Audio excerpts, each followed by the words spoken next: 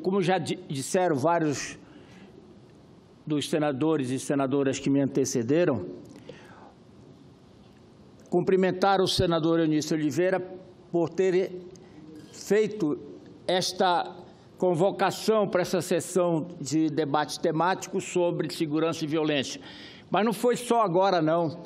É, já tínhamos pautado vários temas a serem discutidos pelo Senado Federal e, entre eles, a questão da violência e segurança. No meu estado,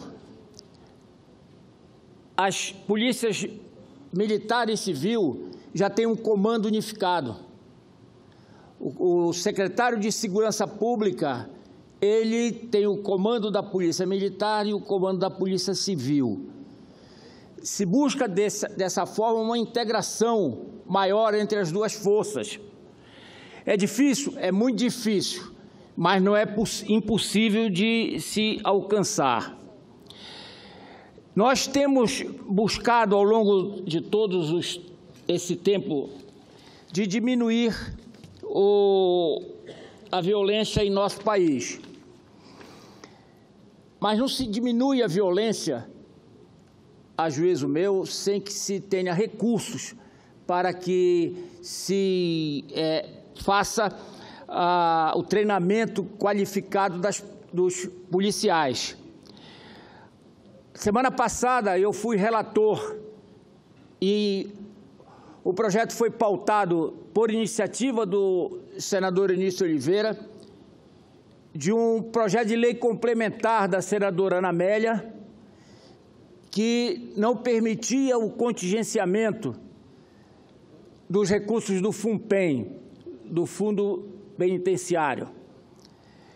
Esse projeto da senadora Ana Amélia era de 2015, nós estamos em 2018 e o projeto não tinha sido ainda votado e aprovado e ele vai para a Câmara Federal e eu espero que lá tenha o mesmo tratamento que o nosso presidente deu aqui no Senado, buscando, chamando das comissões provisórias das comissões temáticas permanentes, melhor dizendo, do Senado, para que tivesse relator de plenário e assim pudesse ser imediatamente aprovado. Eu próprio tenho um projeto que apresentei em 2007. Eu falo de 11 anos atrás, em que não permitia o contingenciamento de nenhum recurso destinado à segurança pública. Era bem é, abrangente.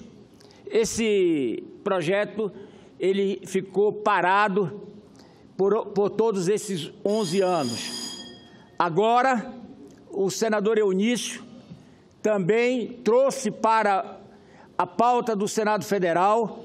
Nós fizemos uma emenda porque não passaria contingenciando todos os recursos para a segurança e emendamos para não contingenciar os recursos do Fundo Nacional de Segurança. Espero que possamos aprová-lo, presidente Eunício Oliveira, ainda na sessão de amanhã. Ele está pronto para ser relatado e levado à discussão e votação dos nossos pares do Senado Federal.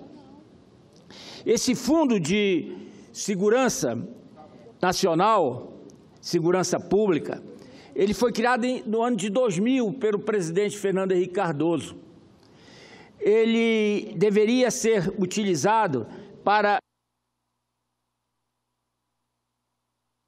qualificação das polícias civis e militares, corpos de bombeiros e guardas municipais na implantação e modernização dos sistemas de informações, de inteligência e investigação.